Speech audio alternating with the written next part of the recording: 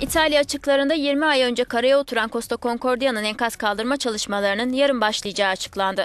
114 bin tonluk dev gemi geçtiğimiz yıl Ocak ayında kıyıya çok fazla yaklaşması sonucu kayalara oturmuş ve yan yatmıştı. Feci kazada 32 kişi yaşamını yitirmişti.